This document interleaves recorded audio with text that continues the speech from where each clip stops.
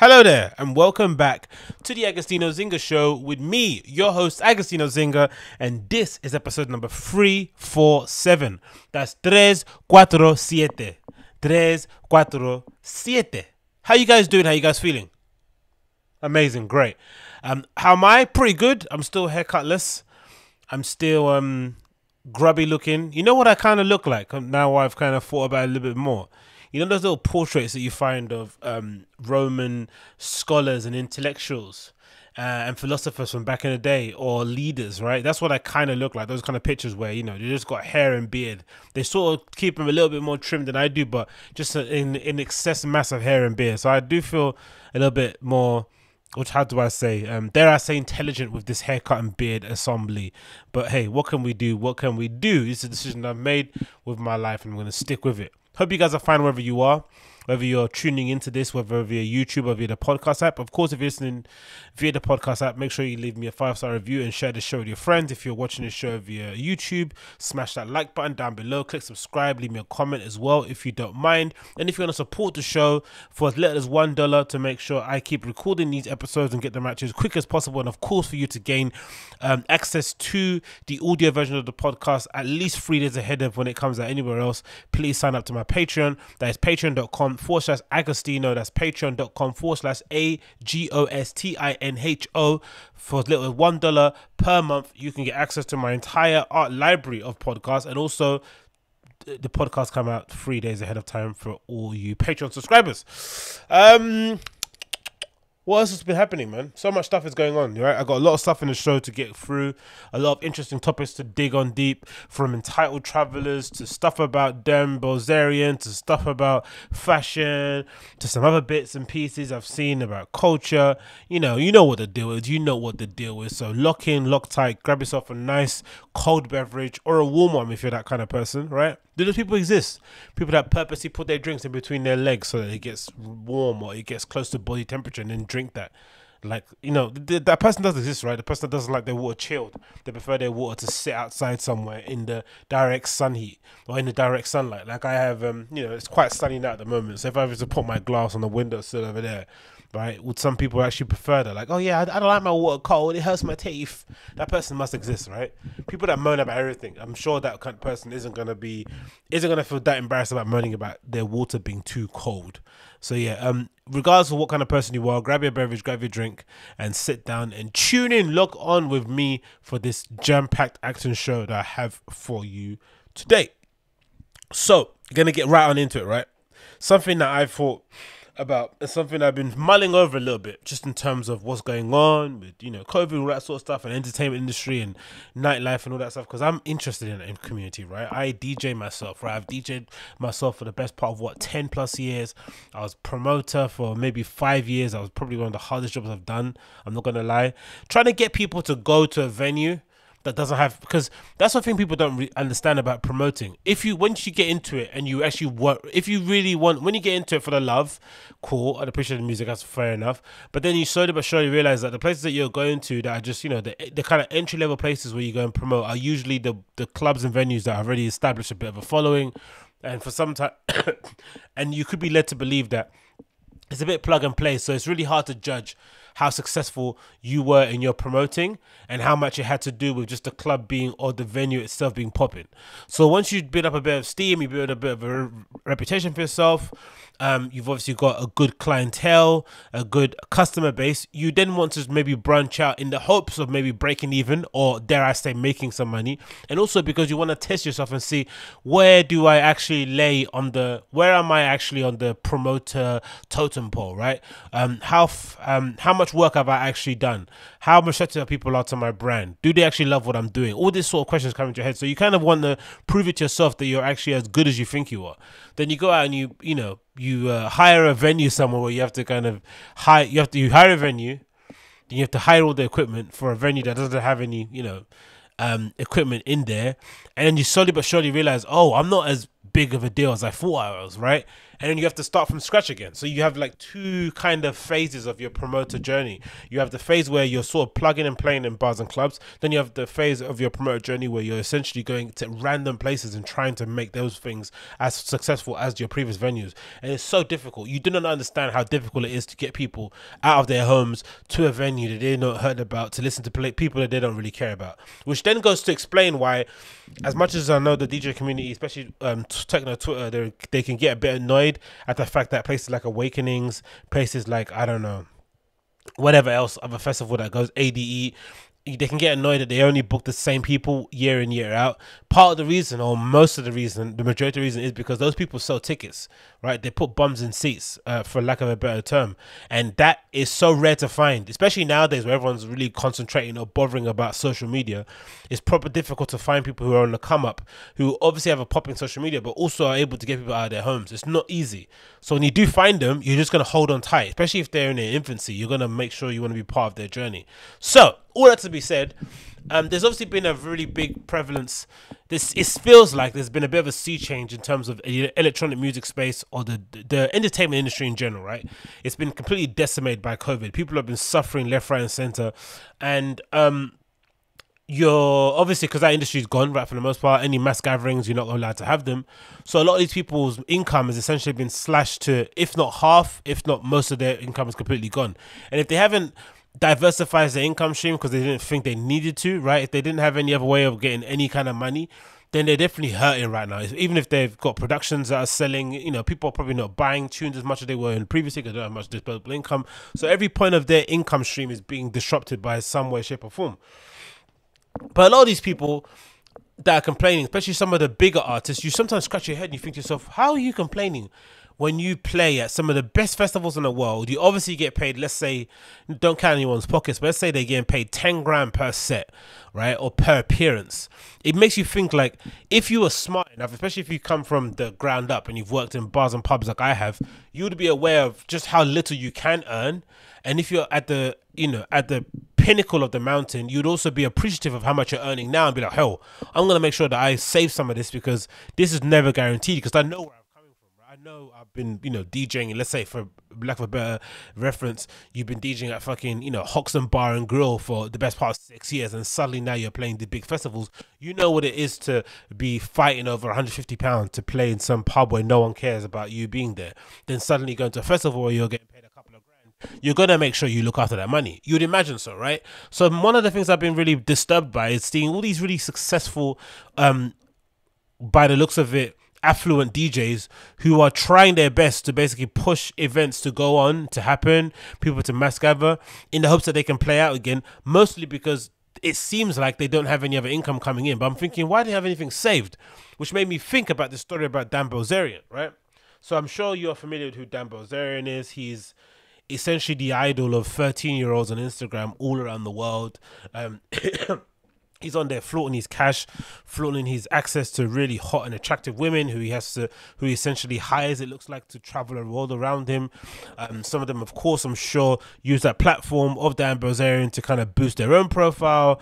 Um, he has access to all these rich, influential people. You know, it's all it's the kind of glitzy show life that if you were a teenager or if you're approaching your teenage years, I wouldn't be angry at you for thinking that this is something to be um, heralded and something to be like you know respected and think, oh wow, I can aim for something like this, right? Because on paper he's living that kind of um, rock star lifestyle that a lot of those kids would want to live without actually having, you know, of course, rock star lifestyle. You know, you are led to believe that you have to have some kind of musical talent, but if you just want to be a, a social media public figure um, Dan is probably the best example of that, and maybe is can be some kind of role model to those kind of kids, right? don't get me wrong, I don't agree with it, but if you that's your intention of life, then why not look at someone like Dan Bilzerian?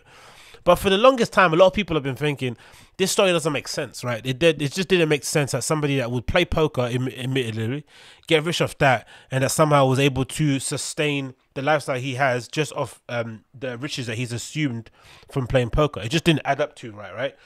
And if you spend any time on internet, if you spend any time reading books of successful people, um, whether they're successful in business or yeah, whether successful in business, whatever you know avenue it may be, usually the way to attain wealth or the way to uh, sustain that level of of flagrancy, that level of um, you know materialism that level of spending you need to have something that you're selling or a service you're providing. You just can't do it purely based off of like um one-off winnings of some game that you played. It just isn't doesn't make any sense. So a lot of people have been kind of you know um guessing that maybe he's a trust fund kid, there's a wealthy backer behind him, putting money into his account, blah, blah, blah. But we didn't know how far it went until this article came out from Forbes, right? And Forbes were the first people to break this. So Forbes initially broke the story that Dan Bilzerian may not be as rich as he essentially claims um, based on the fact that his business Ignite, the CBD company that he's got, that was I think started off as a weed company, then went into CBD. They're essentially been uh, losing, I think, fifty million, I don't know, dollars, let's say over the year or something stupid like that, right? They've just been absolutely burning through money, and that lawsuit then also led to the fact that one of their former presidents um, decided to sue um, Ignite Dan Bilzerian's company for wrongful um, dismissal and defamation because he basically blew the whistle on the fact that Dan Bilzerian, instead of spending the money that he allegedly earned from his poker days was charging all of the expenses to the company card. Which goes to show you that, quite admittedly, his lifestyle, even though there might be some aspects of it that are legitimate, all in all, it means that he wasn't necessarily living the life. He the live the lifestyle he was planning on portraying wasn't necessarily correct, wasn't necessarily right. It didn't wasn't necessarily the truth, and that led me to think about the DJs that were complaining about the performances because I feel as if a lot of these people, especially when I read this article later, but a lot of these artists, a lot of these people in the entertainment industry or in this nightlife scene, it seems like they weren't able. They kind of purport to be, um, you know, uh, savvy businessmen, but for the looks of it, all of these people are renting. They're all renting. They're all leasing places, uh, airplanes, cars, whatever it may be, and those things add up and they don't have any kind of um, assets that they can sell or that they can liquidate to allow them to have more cash to sustain themselves during these times. So effectively all these high rollers are in the same position that you and i are in right? Where we essentially are having to work maybe for you know a decreased amount of wages in order to kind of keep the lights on or we're having to sell some of our assets in terms of you know making in order to have some money coming in, or we're in a way, or we're living a lifestyle where we're essentially having to rent most of our stuff, right? From my mobile phone contract to the apartment I live in, those things are formed, you know, kind of the bedrock of my day to day. Those are things that I'm essentially leasing. So those people that, you know, kind of shit on you and make you feel like you're nothing are exactly like you and I.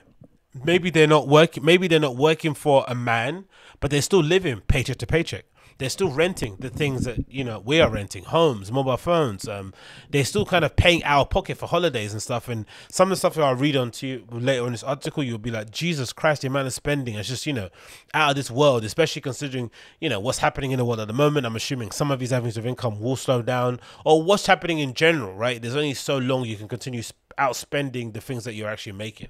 But it's just a really eye opening story. So it's from Forbes. It says Dan Bilzerian is a renter and someone else pays his credit card. Now, of course, they're being a bit spicy with the headline. I think these guys are at gloating at Dan Bilzerian's demise, which I'm not. I still think he's pretty interesting dude um, to sort of like observe from the outside. I think he plays an integral part in society, whether he's a cautionary tale or a point of people to just basically, you know, form some essays around. I think he's a fascinating figure in general. So I'm not happy that he's losing money or that he might end up being bankrupt. I just think it's an interesting case study as to how these sort of self-proposed, I don't know, I don't know if they call self-help groups or whatever they are, these lifestyle gurus who kind of purport to be one thing, but then when the truth is uncovered, it's actually quite closer to home, right? So it continues. It says, um, it's from um, Forbes.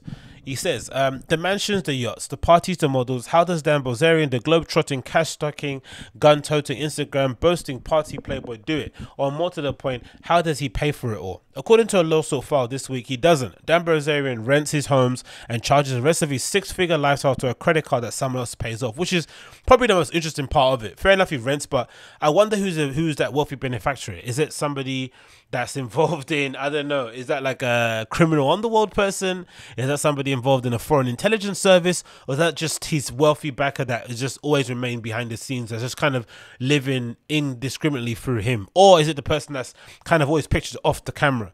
Because you've always wondered, right? Imagine this table here, picture of these everyone sitting on the table. There's obviously somebody sitting here. Maybe it was a girl, or maybe it was one of the wealthy benefactors that's kind of always out of shot, similar to those kind of Instagram baddies that go to you know Saudi Arabia and Dubai to get a new body done or to get shit all over their chest, and then the guy that actually calling them or sending them over is completely, you know, doesn't want anything to do with social media. Maybe that's part of it. Who knows? It continues. It says um, the lease on his home in the ritzy Los Angeles Hills, for example, is two hundred thousand pound a month. Dan Bilzerian does not pay his rent. So that is kind of similar to the thing that's going on at the moment in the Fighter and the Kid community or in the Joe Rogan podcasting sphere, right? Where a lot of the fans of Joe Rogan are kind of ragging on Brendan Schaub from The Fighter and the Kid because he went out to do comedy, caught COVID, and since then has been really kind of um, how do you say has been sort of um, he's sort of doubled down on his stance that COVID is just a flu. If you get it, 99% people will be okay, blah, blah, blah. But part of his motivation to go out, if you're someone like a Brendan Schaub, is going to be because your entire lifestyle is rented, right? You don't actually own most of the things that you have. Whether or not you have a business that you run, and he's got a couple successful podcasts or a few of them anyway. Um, I'm sure he does. You know, he's got a salary coming in from Showtime, blah blah, loads of good stuff happening in his life. But if you're renting, especially at that scale, at that level, it only makes sense when you have a constant flow of income or of opportunities coming your way. So the amount that you're renting just won't matter. Do you know I mean? I think it's similar to these, you know, um, artists and stuff, right? These um, rappers who basically boast about their kind of uh, fees that they get when they go to shows, partly because they know they're just gonna blow. You know, if you get a hundred thousand per an appearance you're just gonna blow that hundred thousand like it's ten pound because you know you're gonna get it next week. But once those events stop, um, it then becomes a little bit harder to justify paying, you know, two hundred thousand for an apartment somewhere in the Hollywood Hills. It doesn't. It's not going to work out. No matter how much you're earning, no matter how much you're, no matter how much you're making, you're always going to be at some level of a deficit, really, because you know you're trying to, you're you're basically outspending how much you're basically making, which is nuts, really, to think of that. And you just would expect somebody of the, I don't know, maybe I mean, maybe um a bit ignorant or naive in that respect, but I would expect somebody of his level of wealth to have access to some really smart business managers or people that could help him out to maybe buy some things that he could essentially use as assets to make some money for him, whether they're homes, office buildings, whether it's investing in a sure bet startup. I don't know. There's, there's obviously avenues that he could do that could allow him to be self-sufficient somewhere rather than not. But after reading the four-hour work week and what basically Tim Ferriss was basically cautioning against all those all those years back in the day, but um, I don't know, maybe the four-hour work week title was a bit triggering. But if you think about it, the four-hour work week um, premise around the idea of being lifestyle um, of of having a sorry, designing your own lifestyle and being um in the what's it time independent. I forgot what that may be, right? Where you're basically you're trying to frame your lifestyle in a way where you're not dependent on always working based on always making money based on the amount of time you're working. So you essentially when you're sleeping, whatever you've invested in, the business that you started is able to make you money whilst you sleep. But you're also constant of the idea of making sure you diminish your outgoing. So whether it's you know working remotely somewhere in Southeast Asia, whether it's hiring um, virtual uh, PAs or people working abroad. It's kind of like the same model that Kylie Jenner has with her cosmetics brands, right? Where you kind of have this whole cosmetics empire and you only have five full time employees and everyone else is outsourced. So that was the whole premise behind it. And I remember at the time everyone was like, oh, this is stupid. No, you have to work 17 hours a day. Right? He got ragged on quite a bit. But if you think about it, really, it's quite a sound advice because you could beat Dan if you wanted to, but you just would have to decrease the unnecessary bits of spending, right? Like the private jets and the tanks and stuff. You could obviously do it, but it would take a it would take a it would take a bit of um savviness to kind of get it done, but which obviously Dan doesn't seem to have or doesn't really care for. It continues says um the house, everything else, the models, the flights, the yachts is charged to a corporate tab at Ignite International Limited. The company, the Bilzerian founded and serves as CEO and majority shareholder, according to Curtis Heffernan, Ignite's recently outed former president. Paying Dan Bilzerian 2.5 million annual rent and paying everything else Dan Bilzerian does was would be an explanation for how Ignite managed to lose a reported 50 million a year uh, last year as Forbes reported. So imagine his Ignite company, which looks a bit shitty to begin with anyway, but fair enough, he's trying to do something, right? He's trying to leave some sort of positive imprint or trying to make some think of the amounts of wealth and privilege or opportunities he's been given. That's a that's a definitely something to be heralded. But you know, it's already struggling as it is because there's a million and one CBD weed companies out there in the US who are trying to kind of you know gain some steam before it, it becomes before it gets legalized nationwide. They're all trying to kind of you know they're all trying to carve their own lane, but it didn't seem that special to me. So on top of that, you're then charging all your expenses, all your flagrant trips, and all that stuff that you're doing, or maybe he's kind of overly charging it and being a little bit cheeky and adding. You know, we, we, have all done it. You work in the office sometimes, and you might add a couple bits more.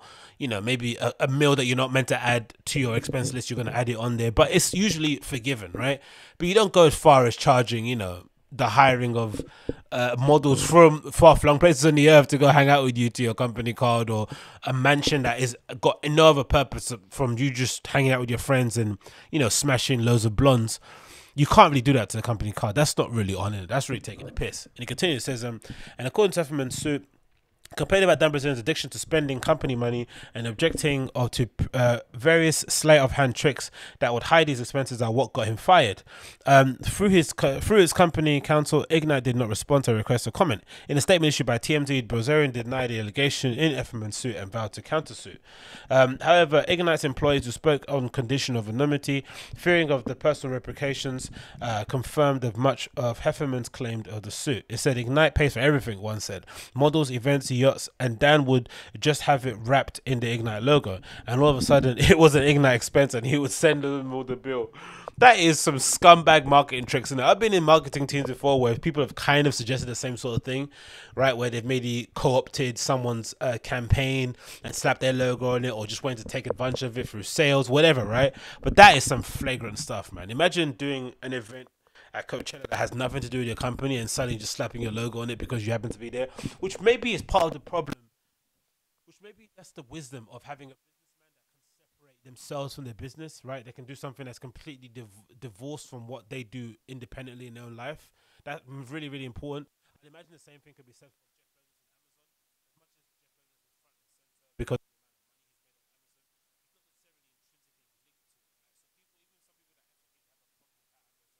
conducts business or how they treat the employees can quite easily kind of separate them can kind of separate Bezos the man and Amazon the business right? You don't need to kind of but once you are a pretty divisive figure in yourself and then you have a business that you're sort of linking you're trying to leverage your fame you're trying to leverage yeah your fame to the business um, success it can also backfire because when people don't like you they're gonna you also tar your business with the same brush as well. So that's maybe happening in this so you don't really know. It says here, continue, it said events that had nothing to do with the business. Heffernan is seeking uh, damages for defamation, wrongful termination, and also for being intimidated, uh, terminated in violation of California state whistleblower protection laws. Heffernan, a former executive of the Procter & Gamble, joined Ignite on March 18, 2019. At the time, the company was trying to find its niche. Ignite pivoted from recreational cannabis brand to a CBD company to a company that was happy to try to put the Ignite logo on just about anything fair, fair enough to Heffernan, but imagine leaving Procter and Gamble to go and work for somebody like a Dan Bilzerian. That's not a sound business decision, really, is it? Because obviously, there's the idea that it could become if you if you want maybe again if you got fired, it's different thing. But if you purposely left Procter and Gamble to go work with Dan Bilzerian, it's like you're obviously hoping he's a one in a million success because of it. Business already is difficult, right? Doesn't matter if you've got funds, doesn't matter if you've got access to people. Starting a business, whether you're rich or you're poor, is flipping this incredibly difficult. Making a successful business is one, you know, it's a one in a million shot. So he was hoping that Dan Bilzerian, on top of being a very divisive public figure, was also going to be very successful in a market that's already super, super um, uh, cluttered, right? It's super crowded. The cannabis and CBD company, CBD industry.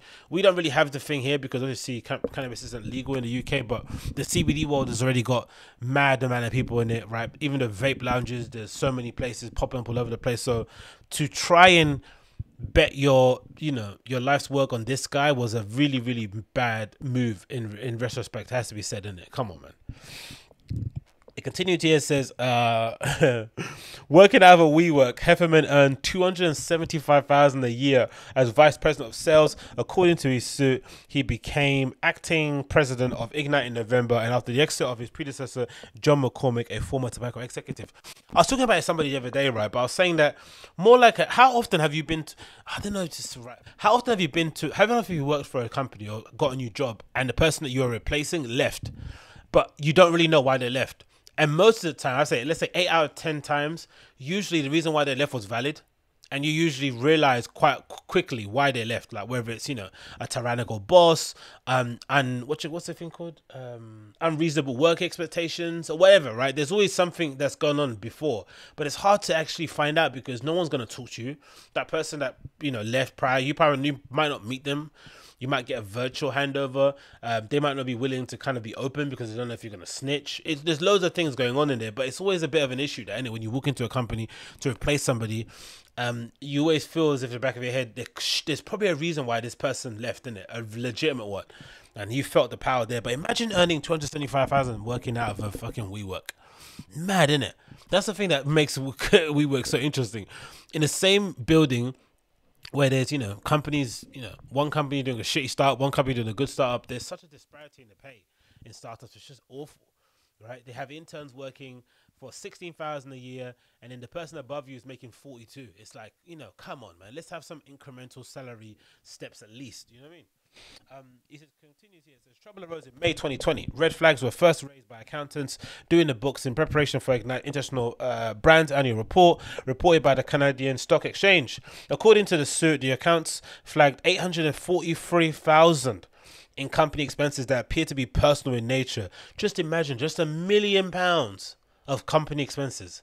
Like a million dollars, sorry. That is insane, bruv. Um, these included payments for charges racked up on one of Dan Bilzerian's credit cards, a half a million dollar yacht rental, a six figure two night trip to London. Imagine spending that much to go to, oh my god. 65,000 four elements, guns, and Star Wars set. A 55,000 50,000 pound bed frame, which maybe, you know, he probably needed. Probably gets a lot of use out of that bed, you know, if, if, you, if you believe what you read on the internet. Um, a 75,000 paintball field, and 80, uh, 88,000 pound vault, for $88,000 vault to name but a few. The company also paid 26,000 to boost uh, Instagram followers and paid for travel expenses of the rotating cast of models that permanently accompany Bilzerian wherever he goes, the suit claims. Brother, brother, this guy still pays for Instagram followers. This is insane. Now, I don't believe this was a factor. I think that the the higher up you are, the more it seems the, the the bigger you are as a celebrity, the more beneficial it is for you to buy Instagram followers, right? Because the assumption is that if you've got a million, it's very difficult to gauge. Maybe it's not. If you look at the ratios, you can probably tell by likes and followers. But if you're not savvy to all that stuff, it's probably high easier to hide adding an extra 10,000 followers on your Instagram page via paid services as opposed to doing it when you're just a nobody. So I've long believed that's the case, and also people don't realize just how, um, um, how uh, how much of a what how kind of benefits you monetarily to buy Instagram followers, especially for a celebrity. The amount of endorsements you could get, the amount of brand deals you could get, the amount of exposure it could give you, the amount that I'm sure some studio executives probably look at people's Instagram followers and decide who to bet on in terms of who to go for when they're deciding on who's, who's going to get the role ultimately. Especially if it comes down to two people that are maybe closely matched or closely um, yeah, a matching skill set. Maybe the deciding factor is who's got the biggest exposure, who can get us more retweets, who can get us more shares. So I'm not surprised by that. But imagine spending twenty six thousand pounds worth, mate, on Instagram followers. That is mad, isn't it? It's for twenty six thousand dollars. Sorry, I keep saying pounds. Bloody hell, man. Um, Heffernan also pressured by other company executives and members of the Ignite board to sign off on expenses that Ignite's business charges, he claims, suspecting fraud. According to the suit, Heffernan tried to convince Bilzerian to at least dump 20, 200,000 a month mentioned because after all, the COVID 19 pandemic is hitting South Carolina, sorry, South, Car- South California hard. Um, how can you have splashy marketing events with social distancing requirements? He says at that point, the suit claims Bilzerian jumped in as chairman of the board and said, "I'm going to do something summer. I'm going to do some summer um, pool parties and we'll utilize the house." The next day, Bilzerian accused Heffernan of doing drugs during a company meeting, according to the suit, and fired him on June 8th. That is a that is even madman. Uh, the annual report uh, showing Ignite staggering losses and also showing the companies um, involving uh, Ignite shareholders on the board members loaned the company cash to keep it afloat was made public on the Canadian Stock Exchange website about a week later. Heffernan did not respond to a call for comment in a statement to his attorney. Tamara Free said that the client looks forward to his day in court. Will it get that far? That may depend on what Dan Bilzerian, who employees describe as almost uh, fanatically image conscious, decides he's comfortable with the public knowing or how much balance is left on his credit card to pay the lawyers. Bloody hell. So he's a fraud. To, again, not fraud fully, because there's parts of his story that are obviously true, but definitely the parts that people were kind of calling out, the idea that he basically made his, most of his um, wealth from poker isn't true, because anybody that's going to, because I, I don't know, because it could be argued if he's willing to sign off all his expenses to his company card, it could mean he doesn't have any of his own money to spend, or it could just mean that he's taking advantage of the fact that he's got a company card and everyone does it, right? Because I'm I remember working for a company where one of the ladies I was working for, she was very very loose and very she was very loose and very happy to slap the company card just about anything she she did, right? Um, whether it was a lunch, a dinner, whatever, she slapped in the company card, and then of course some staff members took the piss of that, but most of the time she was doing it all the time, like any any time she was in the office, the company paid for her food basically, um, and that happens quite often. So maybe in his head, he's just doing the he's just doing what everyone else around him is doing, but at a higher level. Maybe I don't know, but it's bloody interesting to see in it. So let's see how that story kind of rolls out. But I thought that was interesting one to start off with. Let's get going. What else is on the list? Um, we are not destined to be rich and talented. Oh yeah, this is interesting one. So this is regarding um, a short one regarding Logic. Logic has obviously been going on a bit of a no, he stopped now. He did a bit of press concerning his album, No Pressure, and basically detailing the reason why he essentially stepped away from the limelight and why he decided this will be his last album. People like myself are a bit skeptical of it. I think the fact that he stopped, he stopped more so because he wasn't necessarily respected by his peers. Um, his artistry wasn't that greatly appreciated, and instead of trying to fight for relevance, not relevancy, instead of trying to um, convince people otherwise. He just decided to bow out gracefully, which is okay, right? But I also think, you know, let's not kind of lie about the idea that, you know, being as talented or being as talented as he thinks he is, but also not having the respect of your peers is going to do something to you. That is something that you just can't deny. I don't think anyone can deny that. And I think this interview here from. Oh, what's my mic? This interview here, can you hear me? Yep, yep, can you hear me? Can you hear me? This, yep, yep, yep can hear me? Yeah, cool. This interview here from DJ. Well, no, this interview here from where is it from? This guy called Hard Knock something that I found on Twitter from the, the editor in chief at DJ Booth. Sort of um, excuse the reasons why he basically effectively decided to um, hang up his microphone more so than the fact that he feels like you know uh, his work is not. I don't know. Yeah, this is probably the real reason why he basically decided to retire. I think. Let me get out for you here. Boom the same the same internet that I fell in love with and how I would engage with fans is not the same that it is today. So for me spending a decade to go on my phone and talk to fans, but I can't do that anymore because when I go on my phone, I've hit a level that's just loved or hated. And so I could literally, I mean, it happens all the time. It's like I go and I'll be like, I love you guys. And somebody's like, faggot. And I'm just like, yo, how can you just say this and nothing happens to you? Like, that's crazy to me, dog and they'll shit on me and it's going to happen. They're going to call my baby ugly and they've already shit on my wife and made accounts and called her ugly you know and this whole thing. It's like it's crazy. It's insane. But if you just put it out of your mind it's okay. So that's why i was went to this happy place. Not to sit here and talk too much about negative shit. But so that's basically the real reason why he decided to hang up his mic. And i guess it's, it's, it's legitimate as well because i've, I've long believed that i don't think I think fame, especially fame that you uh, that we kind of all grew up on, right? The fame of like the Brad Pitts and Leonardo DiCaprio was something very enviable prior to social media. We were like, wow, this is amazing. Everyone knows your name. You're in front of magazines. You're going to red carpet events and stuff. Um, but then as soon as social media came around, and then we had the advent of people like you know reality TV stars became famous, which were essentially quote unquote normal everyday people got some level of fame and you saw what they went through, you saw people dying, you saw people hanging themselves, you saw people being families broken up, just the complete devastation on the other side of fame, it made people realize, oh, there's actually a talent and actually a skill, or there's actually a temperament that allows somebody to willingly go into that field knowing what it's going to do to their life and what it's going to do to their family, what it's going to do to their mental health. It's something that you have to purposely decide you're willing to do, and the consequences are can be catastrophic, really can. And I think what we've seen with social media, the good part of it, I think, is it's exposed what actually being famous is actually really like, right? If you only go, if you go to someone that you love and appreciate who's at the pinnacle of their field or is at the uh, you know the forefront of their field, and you read through some of their comments, especially if they're a little bit divisive, you're like, wow, this is a lot to go through in order to kind of have the adoration of a you know of a big group of fans but also have the actual you know have people out to kind of get you on a weekly or maybe daily basis depending on how often you're posting. It's not for everybody. And i think that's okay. I think you should be allowed to decide hey this isn't for me. I'm gonna hang up my my, my microphone. Or i think the best part about this kind of era is that kids coming up nowadays can decide what kind of lane they want to go down right? You can try to do a drake or you can try to do a Lil Uzi Vert, right? Or you can try to do like a Joey Badass, right? There are different varying levels of fame that you can basically try to attain that will allow you to have some um, hint of normalcy, some hint of privacy, some hint of like a everyday life, and it's very difficult to do. But I think it, once you reach that pinnacle, it's very difficult to sort of like pull back and and become a private figure or pull back and have some sort of level of um, decency and stuff. It's just not gonna happen. You just have to.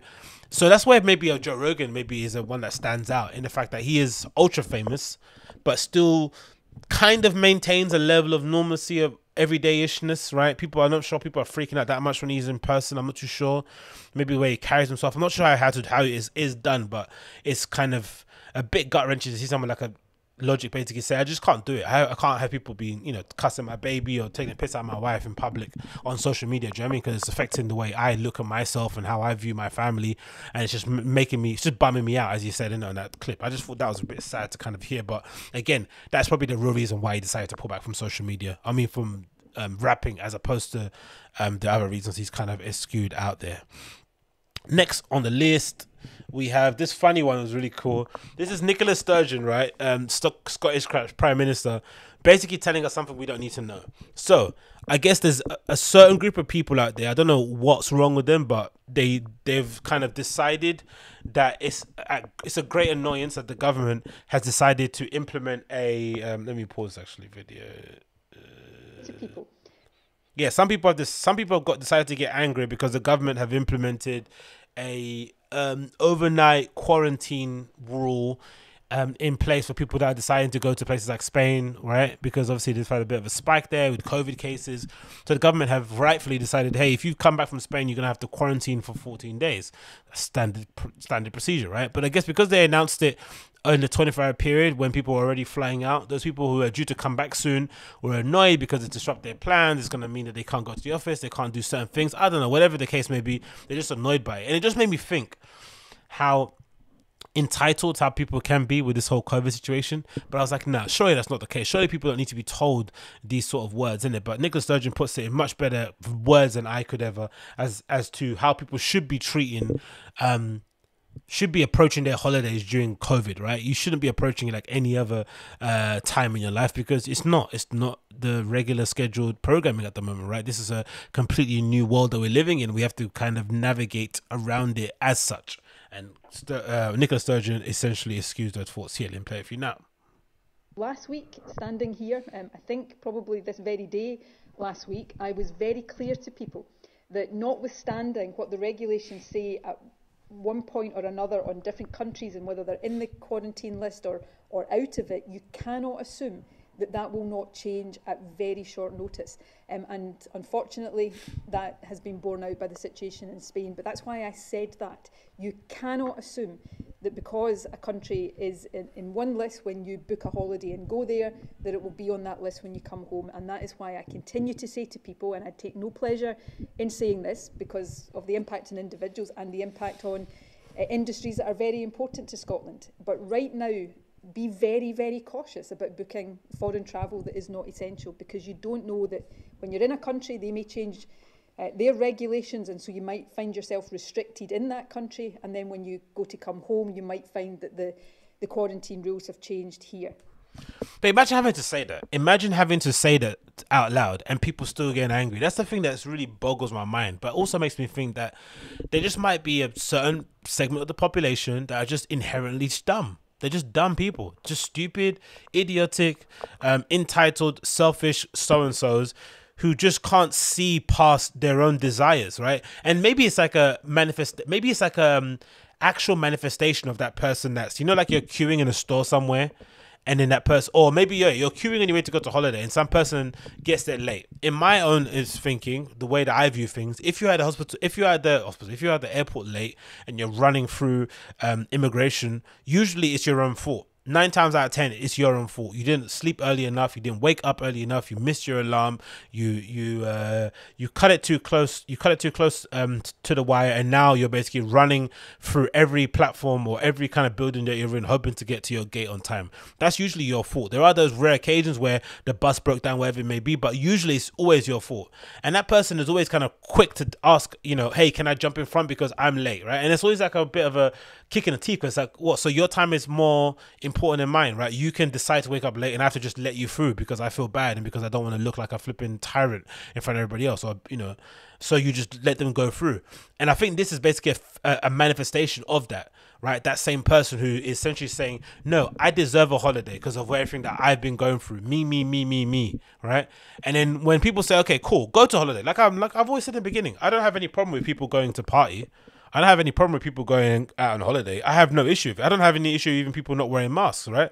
But the issue that I have with it is when they start to get a bit tetchy and they're a bit annoyed when they then get asked to have some level of personal responsibility, right? If you're gonna go to a party and you get COVID, don't start crying on Instagram and asking people to donate to your GoFundMe if you're gonna go on holiday and you during a global pandemic, don't then start complaining that the government last lastminute.com changes the rules and made it difficult for you to come back and you have all these things. Why did you go on holiday in the first place? You knew the you knew the risk. That's the issue. If you know the risk, you have to accept it. If you have to go if you go out there and you, you if you want to go outside basically you're basically trying to accept some level of risk.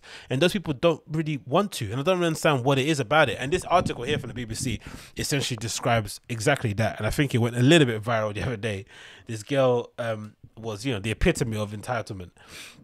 And I just and I just I'm just thankful I don't have this kind of mindset. I'm thankful it's not me, but what a what a what a hard thing to read. So this is from BBC.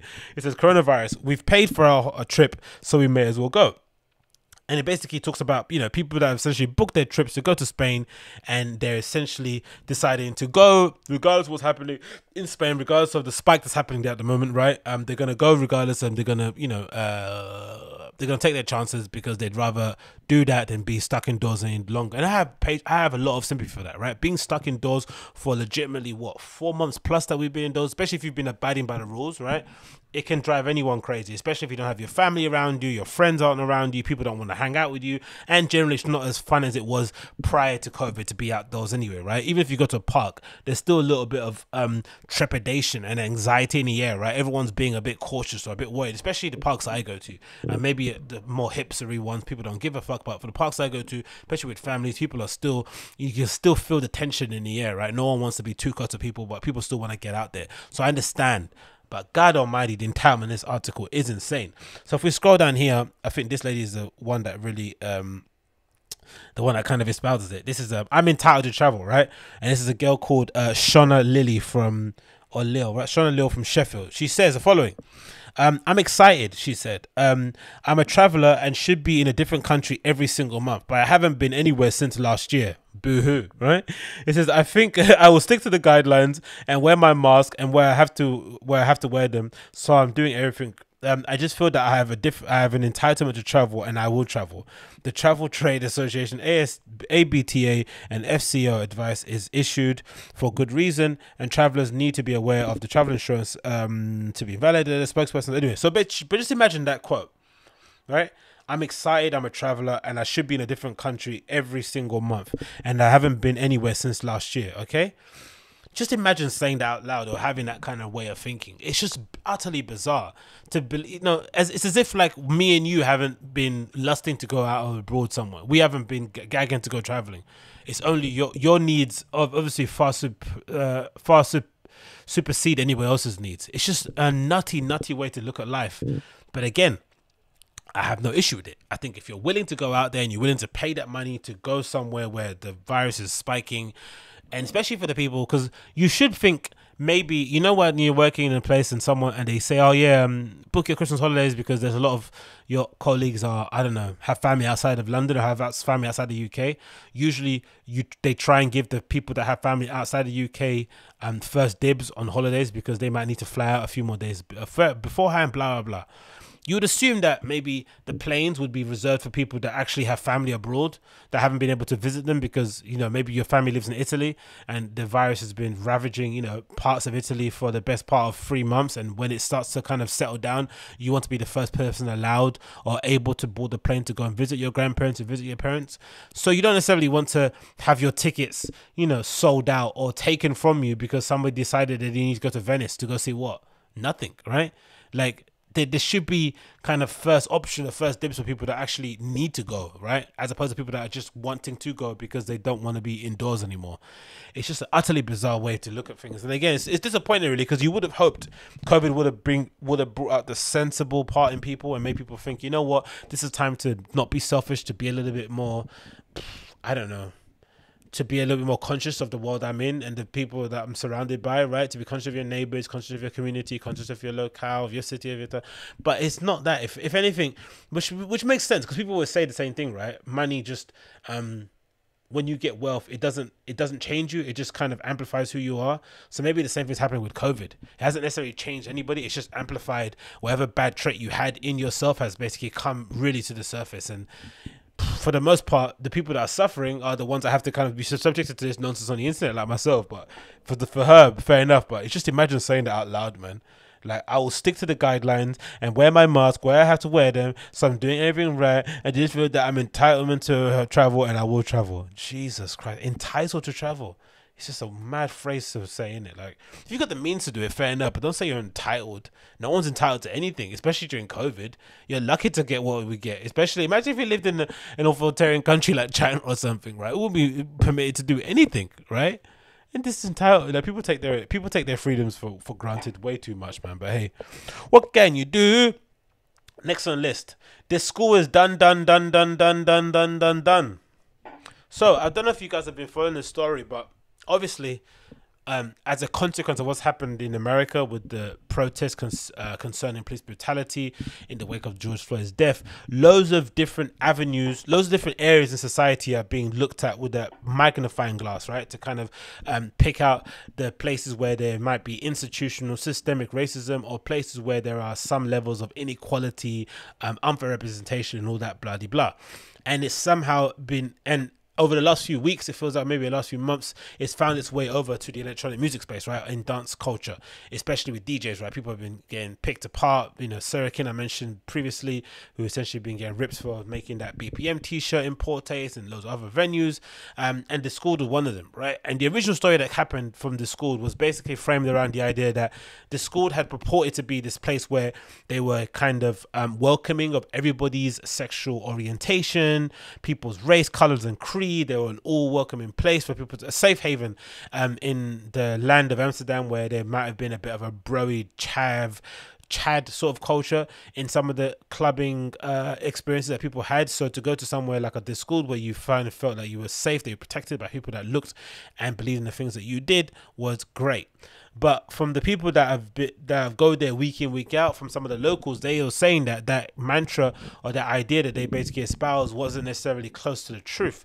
And what instead was happening was that it was a place that was um, inherently inclusive, um, exclusive. Sorry, a place where the security guards were accused of trying to sexually assault, or in some cases they were sexually assaulting some of the patrons. They're doing this weird thing that they're exchanging entry for sexual favors and this sort of gross stuff. And the most disheartening stuff about it because you know, I've, as much as you should be responsible for the people that work in your company, you can't be responsible for all the actions. You can't be an all-seeing, um, all-knowing eye. But I guess the most disheartening fact of the story was that some of these instances were reported to people in management, and they didn't really do anything about them. And having listened to the podcast I did recently, they did like a three-hour podcast moderated by this really amazing girl who basically pressed every member of the team about issues that were going on, and they didn't really have an answer to it. Right, this kind of you know kind of um, they were kind of speaking in circles, but they didn't have any real legitimate excuse as to why they didn't make any action. And unfortunately, due to that, they've now this they've now decided to close their club. They've they've obviously citing financial reasons, but part of the reasons why they're closing is because of the mounting pressure online. And it just made me think about some certain things I'm going to talk about when I read this article, as I finish reading this article. Sorry. So this is from Resident Advisor. It says De School announces club coach club closure. Club culture, club closure. It says the Amsterdam nightclub, um, De School, has announced its closing. In a statement released today, club owner Joachim, whatever his surname is, said that coronavirus pandemic made the club situation financially untenable. He said the bottom line is that the debts are piling up. He said not only because of the under uncovered staff costs, but also um, the cost of uh, the ongoing costs. Acting now and making this very difficult decision may prevent the total bankruptcy of our company post SC um, 11 trial. Um, he said, um, and he said uh, the bar and restaurant terrace will still be open.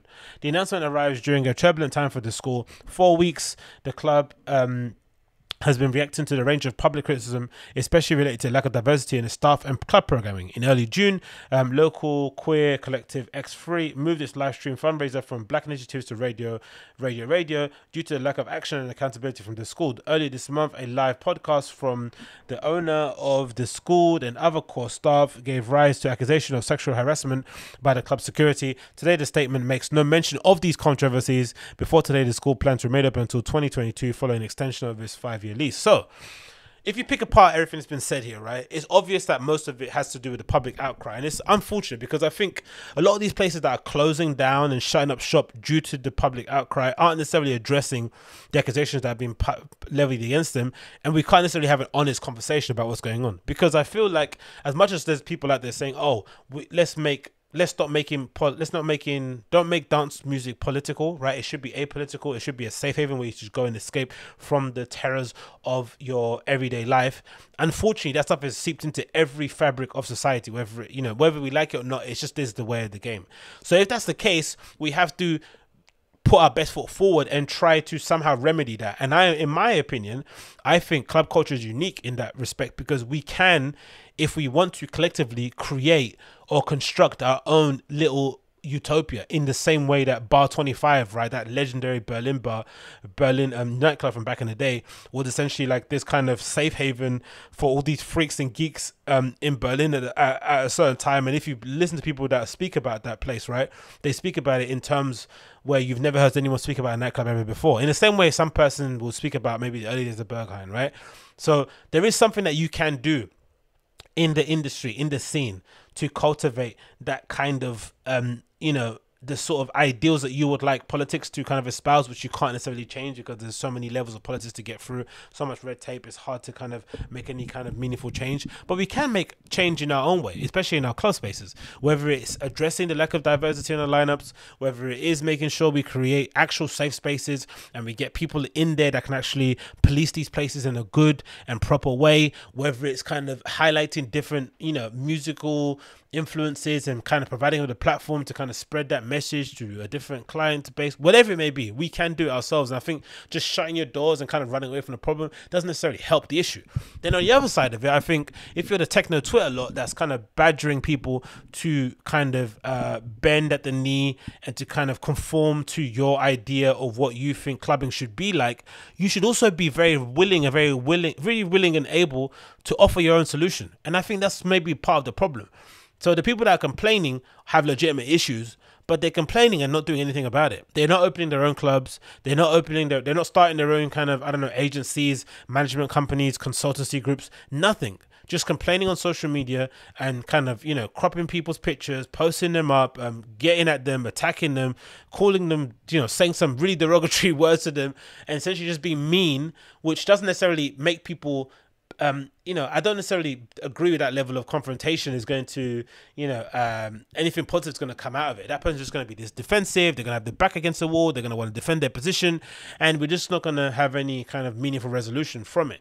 So it's a two it's a two factor kind of issue to solve right on the the on, on the side of people that kind of quote unquote hold all the power they need to be receptive and willing to listen to the issues that are going on and kind of implement some level of some level of change in the way they, they do business. But then on the side of the protesters, they also need to understand that if you're going to have so much to say about these issues, you need to have a solution yourself. You need to build something of your own. And it feels like we're in this world at the moment now where there's more value in complaining and in whining about issues as there is about sorting them out. And again, politics and stuff, leave it to one side. Politics is, you know, it's a whole quagmire to sort out. That's really complex issue. That's something that needs to be dealt with on so many levels that it's not even worth even me talking about. But in club culture, we can sort that out ourselves. We can definitely rectify the solution. We can definitely kind of readjust the balances. And part of me thinks there's going to be a solution anyway. I, I kind of think my kind of hope or my kind of yeah, my hope is that once COVID is over, you're gonna see some of the bigger clubs, like let's say the Berghains the Fabrics, they're just gonna address the issue without even saying much about it. They might just start doing 50-50 gender split lineups. They might just having, you know, certain nights dedicated to representing, you know, uh, minority groups, whatever it may be. I think they're just gonna do it, and then all the other um,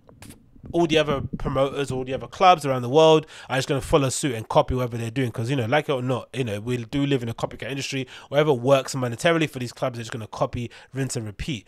But it would be good to have a, an actual conversation about this that didn't turn into kind of slinging matches and people essentially having their businesses closed because they couldn't handle the pressure. But I don't know, man. I don't know. That's basically why I, I, I landed it. I think there needs to be some level of me- mediation. People need to just meet each other in the middle in both in both camps so that we can come to some sort of good solution because at the moment this sort of like infighting is not really helping out anybody in my opinion. But anyway RIP De School I really wanted to go there. I've never actually got a chance to check it out. It looked like a cool space.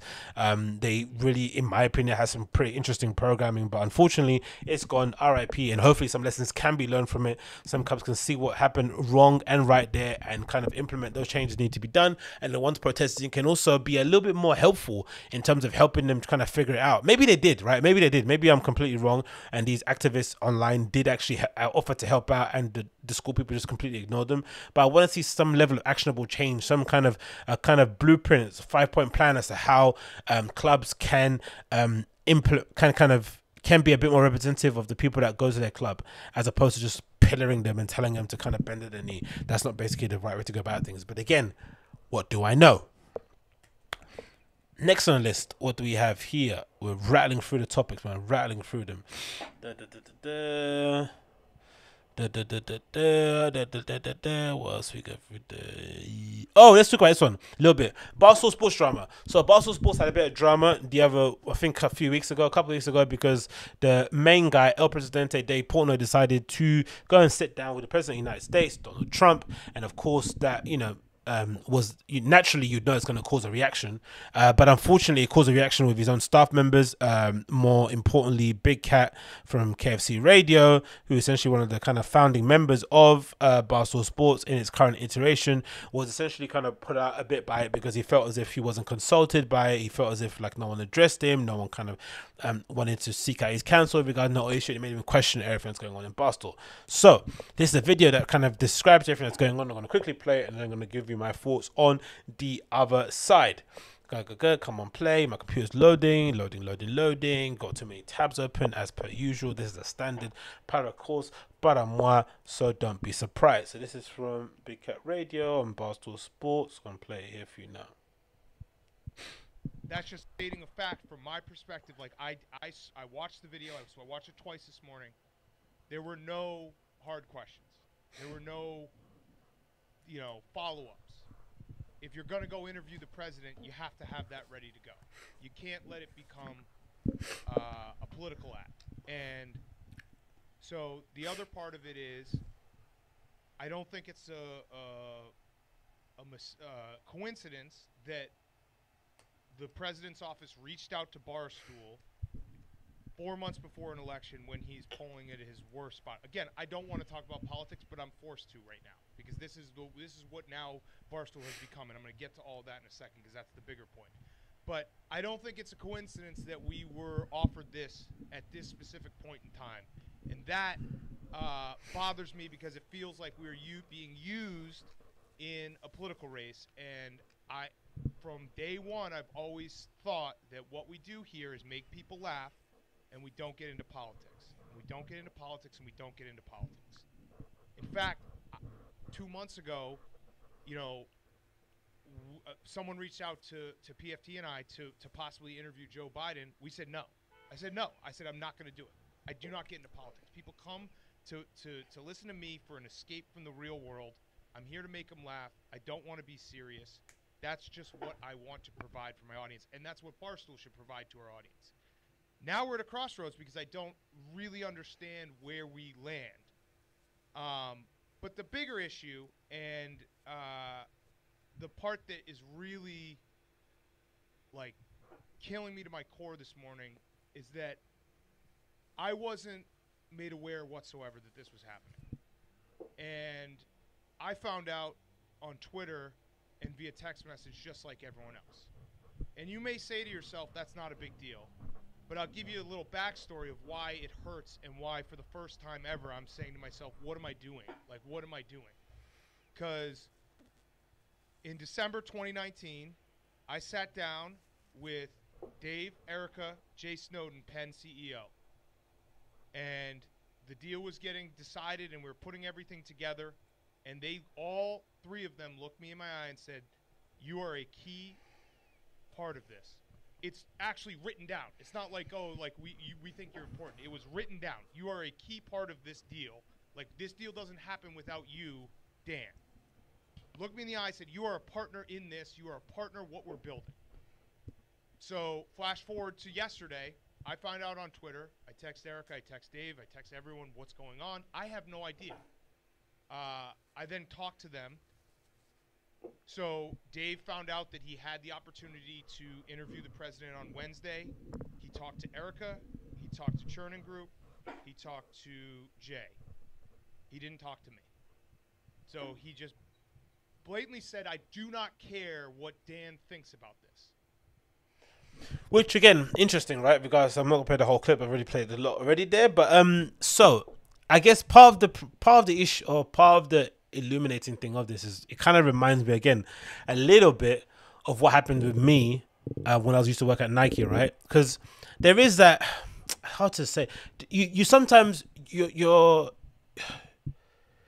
you have a reason to feel like you're included and you're part of the story, especially when you start really during the infancy of a company's you know formation right when you're starting when it's just yeah when you when you when, when you start working for a company that's just getting started it can feel as if like you are part of it that you're kind of forming it that you're integral to its kind of forward momentum and where it's kind of going and you maybe have you might have some really demonstrable um, evidence to show that, right? Look, I did this and this. This helped to get this and that. You, I, I'm sure that could be true, but for the most part, I've always kind of had it in the back of my head that hey, I'm just a hired gun. I'm just an employee here.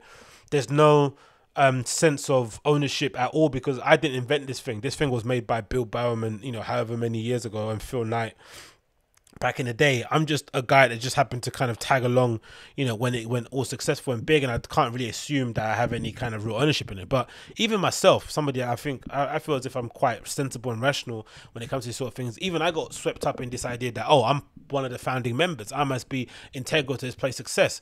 And when that Nike situation for me came tumbling down, and we I essentially got let go before everybody else when I was one of the first people there for no apparent reason apart from just not being one of the more likable ones in the group, or maybe not being the one that had maybe the more connections, or maybe not being the one that was more agreeable, or whatever reason, right? Whatever reasons they have, whether legitimate or illegitimate, it doesn't matter. That's kind of war under the bridge. But I remember the time thinking, wow, man, how could that happen to me? I was one of the founding members.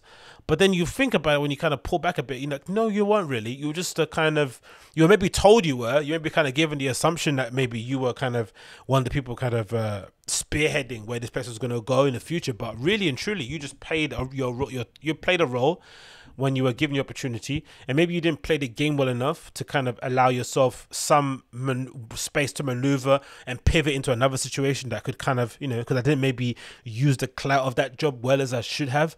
But I understand his pain because I understand because, and again, you have to assume it's probably harder at Barstool because you know Dave Portnoy is intrinsically linked to Barstool Sports, right? He is Barstool Sports, so sometimes even though he has a every legitimate reason to go interview the president because he represents Barstool Sports, it does look like a Barstool Sports thing, and because he goes president, and and not not everyone in the company is going to agree with sitting down with the with the president, right? Because he's so divisive as a figure, regardless what you think. Um, I still I still kind of have the belief that you should sit down with all presidents, right? Regardless if you like them or not. It's a bit of a rare. You should either sit down with all of them or none of them. That's where I kind of sit. You should you should have yeah. You should that's where you should be. It's like um, it's like the on it's like the honors list in the UK, right? You don't accept an MBE just because you like the Queen. You you don't accept it or don't expect it because of what you think of the British Empire, right? That is how it should be. I think maybe it should same thing should be with the presidency. But I think all those people that were clamoring to get into the White House when Barack Obama was there, for them to suddenly kind of you know turn their nose up at going to see Trump in the White House is a little bit offensive to the office, in my opinion. Again, just from a British dude from the outside, I don't know what is going on over there, but that's what I kind of think. So you should be either in or out. But I also understand if you're a Barstool Sports employee, seeing your boss um, sit down with Trump when you don't, you know, when you have no word or no say in it at all and it represents your company, it can be put your nose a bit bent. But unfortunately, what I was trying to get to was that it's his company. He runs it. He can do whatever he pleases, and I think that's something that you have to kind of come to the conclusion of when you're working in a big brand and you have a bit of clout and you have your own little platform, you can sometimes feel as if even if you are somebody like a big cat who is kind of, you know, a bit more he's more of a fixture at Barstool Sports and I was at Nike ever. Don't get me wrong, not comparing us. But ultimately you are working for somebody and until you're not working for somebody you have your own platform you're never going to agree with everything they do and they might do some things that they're never going to consider you for in the conversation because it's their right because it's their company. Um, and that's kind of the unfortunate truth. But again hope they sort it out because i'm a big fan of Barstool Sports. I'm a big fan of dave. Um, I, I do think he can be a bit of a fame whore and i think that essentially why he gets himself roped into some sticky situations. I think he's he kind of reminds me of adam 22 from no jumper. They're so they're both very cognitive or very very aware of what viral of, of viral moments right they're very aware of kind of you know online marketing and kind of getting about on social media it can sometimes land them in hot bother but it is what it is isn't it but unfortunately if you work for those two guys you're if you're an employee at no jumper if you're an employee at Barstool Sports you're just gonna have to kind of ride the good times with the bad, isn't it? He might do some stuff that you agree with, and he might do some stuff that you don't agree with. It is what it is, really, and nothing else you can do. But I thought that was interesting to talk about. Next on the list, but ragging through them, what else do we have to talk about here? Oh, this is a good one. So, Hidden NY, this Instagram page, I'm sure you guys are familiar with. I'm right. I'm sure you guys are familiar with Hidden NY. It's like the, I'd say the number one streetwear sneaker sort of um, what Instagram mood board blog things, right? Maybe it's taken over that that little Jupiter guy because I think he got his account banned a couple of times. But from for if you if your aesthetic is kind of streetwear and trainers, I think the number one place that you're going to kind of follow is um Hidden NY. I've got it here on the screen. Um, so they have you know standard stuff, loads of Jordans, loads of rappers, cars, expensive watches, you know, that kind of side of streetwear that I'm not really a fan of, right? Which is essentially all those guys that used to wear high end fashion who are now wearing streetwear. But you know, it still serves some sort of purpose. You still see some great archival images of brands and stuff that you kind of like. He obviously slips in some stuff of his own in terms of the socks that he does and hats and caps and stuff and blah blah blah. Anyway, so this guy was recently featured on a podcast called Hidden Fits no throwing fits sorry. Hidden fits that's probably a good uh, merger podcast name. And he essentially spoke about um, how he formed a relationship with drake uh, Drake is obviously a big proponent, a big follower, a big fan of Hidden NY. Um, I, I, think they basically put him onto Chrome Hearts. It feels like, or maybe Barry. I'm not sure why, but he's always wearing Chrome Hearts at the moment.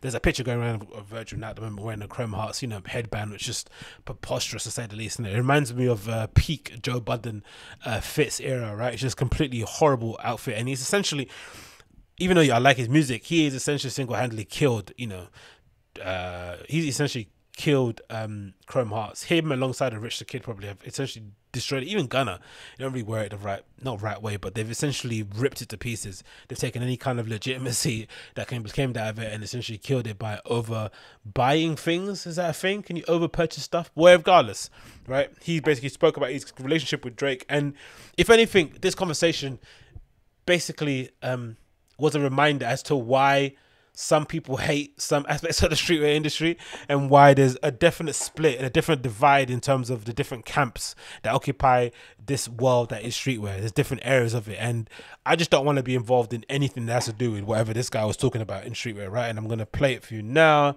It was a clip that I saw on Twitter concerning the whole entire thing. Da, da, da. Let me get on here. Come on, load up, load up, load up, load up. Okay, here's this is the guy from from Hidden NY talking about his relationship with Drake. I, he, he hit me up and he was like, "Yo, send me something to buy." That's like all he said. So I made like a Word document. I was like, "Oh, I'm gonna impress him." I, I made this Word document and it had I put all the pictures and there was 40 links maybe of all the you know, you can do that thing on Grailed where you you uh, you refine the search and Yeah, filters and shit. Yeah, and stuff like that. So I put in his sizes, did that, and I picked out basically some of the most expensive, just ridiculous things that, that sit on there for a long time. You know, they sit on Grailed these these crazy items, and uh, and I sent him through, and he just bought all of it. And I was like, oh my god, he's buying like everything I could ever want. It's it, I was getting like like a little bit of the, the taste of how it is to buy all this stuff. So I just You were you were him, ga- like- you were gassed off the vapors, I believe. I was gassed. I was gassed. I was like, oh What was the total? What was the, what was the total damage from just that first haul? 50k, 60k. Yeah. Light work. The Yeah, light it was work for light work Drizzy. Yeah, yeah, yeah. there's For like Drake had like a f- Drake Drake and Hidden uh, actually had like a four or five week run where the most expensive item sold on Yeah, Grail yeah, like yeah. in any week flip a coin. Drake is definitely in the top ten, but it but that top he was top three like like that's a back to back to back to back Yeah, yeah, yeah, championship yeah. run, dude. It was ridiculous. What Yeah. um? he was going crazy with it. He, Yeah, he was. He has a lot of stuff. I got to say, he sends some pictures of his wardrobe and stuff. He has a lot of stuff. cringe right super super cringe right incredibly cringe so awful that it's it kind of beggars belief but hey let's go through it so um the most kind of telling thing that kind of came out of this right was it's basically um you know how people take the piss out of these little kids are hype beasts that just buy anything that's expensive?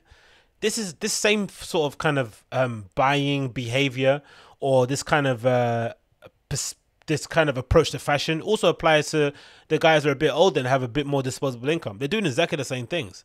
They're just buying whatever's expensive, whatever is quote unquote rare because it's expensive, and then whacking it on with no sense of style, no sense of appreciation. That's kind of the really worrying part about that story is the fact that he, like the guy himself, who Drake asked to, oh, give, give me a list. Fair enough. Let's take Drake out of the equation, right? Let's say he's a bit of a dork and he doesn't know necessarily how to dress that well. He doesn't really have any personal style, which I think is really annoying because I think he looks really great when he wears tracksuits and sportswear type clothing. But whenever he tries to get to his fashion bag, he always look, comes across a bit too try hard.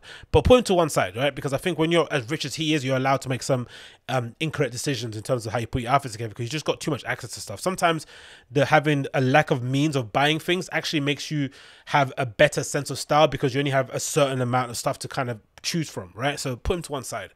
The issue is that that Grailed guy, when he gets to, when he gets request when he's requested by somebody who has means to put together a list of items that could suit his wardrobe, instead of thinking about Drake as an artist and what his style is and what he kind of wears, and kind of asking him some questions and having kind of I don't know a stylist appointment, right? A personal shopper's appointment with him, some back and forth. He instead goes on to Grailed and just sorts by clothing size and expensiveness right by price basically and picks out the most rarest things and gives that to him instead when it has nothing to do with his personal style. Just go oh, let's pick that. Let's pick that. Let's pick, let's pick this out what there's no there's no understanding of the history of the brand, how that ties into his story as a musician, the the the kind of era that kind of clothing was birthed from, the design influences, the political climate at the time. Just nothing that you would think that would actually be such an easy win. This is and again, I'm not saying these things to sound smart. These are just easy wins that would just kind of add a bit more of legitimacy to what's going on. He could have gone on Grailed and picked out some undercover, underground Canadian brand that people didn't really know about. Maybe the designer of this head label was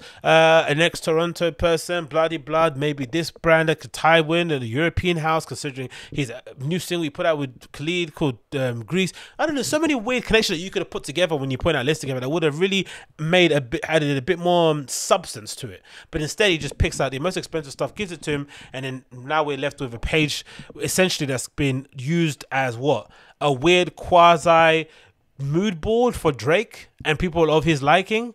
It's like, God damn, no wonder it's so terrible. No wonder. No wonder it's so terrible. Um, and then it comes down to and then and then the lack of style thing is a big thing, right? I've written here. The lack of style is a bigger thing because that's the main issue I have with most of these kids is that, you know, you you're free to buy what you want. But if what you're buying is just based on the price tag and based on what you've seen ASAP Rocky wearing with no correlation to what you're actually into yourself, it really makes you question um your kind of frame your kind of the way your mind works right? That you're so willing and able because i always thought that was weird personally. People that dress up like people like there's, there's that kid going around at the moment who kind of has that tiktok where he basically dresses up like Playboi Carti. And i've always thought that's super bizarre. Why you purposely want to look like somebody else is really odd. But also makes me think like don't you have any sense of uh, your own personal style that you're trying to kind of flex and get out there? Now again i know it's difficult to do it's very difficult to find your personal style. It's very difficult to kind of land on something that works for yourself. But it does take a bit of homework. It does take a bit of exploration, a bit of patience to kind of fumble the bag a few times, to buy a few things that are incorrect, don't really fit what you wear, don't really fit your body type or whatever it may be. But it's a far better journey than just I don't know, deciding to copy and paste whatever Lil Uzi Vert's wearing or whatever Rich the Kid's wearing, because that is just devoid of any kind of real interrogation, real kind of self reflection as to what you're actually into and who you want to support. Um, continues I said, um, the death of Chrome Hearts. Yeah, again, I'm not even that big of a Chrome Hearts fan. I I saw, I used to see it all the time when I, you know, these Japanese magazines that I have down here somewhere, right? Like this stuff, right? Like these magazines and the boons and all that stuff, right? They they always feature stuff like um Chrome Hearts and Goros and all that sort of jewelry. And I never was a big fan of it. I didn't really care for it too much, right? But I appreciate what the kind of references. I appreciate the authenticity of it, and I appreciate the fact that there were some people out there that really, really gave a shit about it and wore it in a very tasteful and kind of stylish way, right? It just kind of it just always seemed effortless. Then out of the blue, I don't know if it was purposely their own kind of drive in order to kind of make sure that they kind of evolve into the next stage, but it's suddenly gone turned into I don't know the modern era of Von Dutch. I don't know how why it happened overnight so quickly, and it seems like it's gone it's gone far beyond being cool anymore. It's just become, you know, whatever. It's sort of like, you know, when Vlone happened, the same sort of thing. Vlone had a, a, little time period where it was pretty um, aspirational in his own way, right? Don't get me wrong. It's all printed on Gildans, all that sort of shit. I get it, I get it, I get it. But there was a time when Vlone had its moment. And then quite quickly, it just evaporated and just went somewhere else, right? And same thing's happening with Chrome Hearts, but they have a much longer history in the game, doing their own thing, beating to the um, moving to the sound of their own drum, right? That suddenly now for them to kind of um, play into what's going on at the moment now in general feels a bit weird. And again, maybe it's because they've had a change in management or they just wanted to evolve the brand anyway and they weren't making that much money. But the death of Chrome Hearts is real, right? If you're a real Chrome Hearts fan from back in the day, even just from the beginning of the 2000s, to see what it's kind of into now must make you like, ugh, what the hell is this, man? Rappers covering all their jeans with the Chrome Hearts cross, regardless of what if it looks good or not. Buying the most ridiculous items from there just to flex on people. The headband is like, all right, cool, man. Um, and then Da, da, da, oh, and then uh, I also heard that this kind of reminded me a little bit also of that why I hate the that YouTube channel where that kid goes around and asks people how much their outfits are. It's like if if ever there was something that represented the um, the complete antithesis or the complete opposite of what the values of streetwear should be about, is that right? Going around asking people how much they're spending on their outfit is like irrelevant right? It shouldn't matter because streetwear has never been about how much a certain item is or how much you paid for it. It's always about things that kind of spoke to you in a real personal way, things that kind of resonated with you far beyond just what it was printed on, right? Whether it was the owners of the brand, whether it was the messaging behind it, whether it was the vibe. Part of the reason why Supreme was so successful was because of the whole vibe around it, right? It wasn't necessarily about the clothes. The clothes was shit. I think even Jim Jim Jebbia said at the beginning when he started Supreme, he just started it because essentially like you know the skateboarders had really great sense of style, but the clothes that they were buying at the time was garbage. So he just wanted to up the levels a bit. That was it. And some of the earlier clothings or some of the other earlier pieces Supreme did, especially if you buy some of the earlier T-shirts, they were printed on basic blanks. They were printed on basic blank T-shirts, hoodies. They were basically um, co-opted um, jackets as well. I remember that st- standard bought kind of windbreakers from shops that he basically tabbed the logo on, and then over time they kind of evolved into a full quote unquote cut and sew brand. But most of the reason why it was a it was appealing was because of that, right? Some of the best skateboard brands that start off, especially some, I don't know, I think of some of the brands that start off doing bearings or wheels and stuff, just hardware. It's basically because of the vibe. Diamond Supply might be a good example of that, right? That hoodie represent or that T-shirt, that logo was more than what it was the more than it was worth more than some of its parts really right? It was about everything that nick kind of built around it the world that kind of got you in you know infatuated with that brand especially during its infancy. So for people to go around tr- buying things based on their price value and then thinking they're gonna get any kind of value from it. It's gonna add to their sense of style. It's gonna make them a better person. It's just like then the next man is just awful. And the brand's playing into it releasing things in hyper limited uh, numbers pricing things far out of the range of your average everyday person. It's just all disgusting. It really is. And i don't know. I don't know what, what the future is for this but I don't live one. I don't want to live in a world where you're just buying things based on the money you have in your bank account. You should be able to, especially nowadays, man. Like experimenting with different styles and trying things out that really work with you or- not is so much fun. Trying to figure out what is your style, and it's a never-ending journey, really, right? If you still keep on refining it again and again and again. Maybe these kids haven't grown up with, you know, um, perusing uh, street blogs and I don't know street style blogs or looking at people that were you know arriving, especially during the early days of like the um, the Sartorius blog where he was taking pictures of people at Pitti Uomo and all those Milan Fashion Weeks and some of these guys you'd see effortlessly cool and sophisticated outfits and stuff that I probably wouldn't necessarily wear, wouldn't necessarily match my personal style, but a lot of it had to do with these guys have had a long and storied history of essentially spending dedicating their whole entire life to discovering or finding out exactly what they like and what they don't like right? And it's kind of all been illustrated through the stuff that they buy. And they've kind of dedicated life to it. even sometimes some of the people that are obsessed with was it was it the kotaku kind of culture in japan right um, is it Kotaku? It's called Kotaku, isn't it? Right? When you're obsessive, obsessive about collecting certain things, or when you're involved in the streetwear industry that they're involved in over there, it's more so than about just looking like a certain person.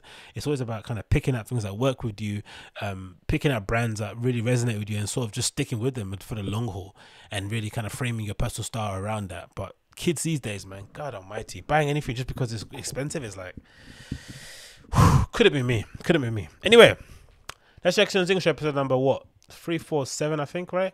Thanks so much for tuning in as per usual. If you liked what you're hearing and you want to support the show, make sure you support me on Patreon. The Patreon link will be down below. It's patreon.com forward slash Agostinho. That's patreon.com forward slash A G O S T I N H O. All one word. Make sure you support me on there for as low as $1 a month and you can get access, early access to all my all my audio shows on there before they come out anywhere else. And of course, if you want to follow me on socials, make sure you do that too. Links to my social medias all down below. And of course, if you're watching via the YouTube, smash that like button, hit subscribe, and leave me a comment down below. But until then, take care, be safe, everybody. Peace.